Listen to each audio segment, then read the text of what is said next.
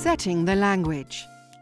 To modify the language of the display, proceed as follows.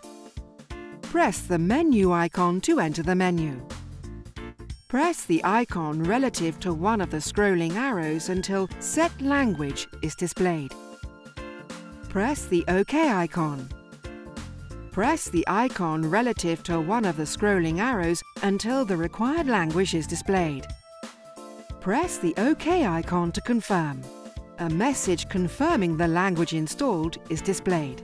Press the ESC icon to exit the menu.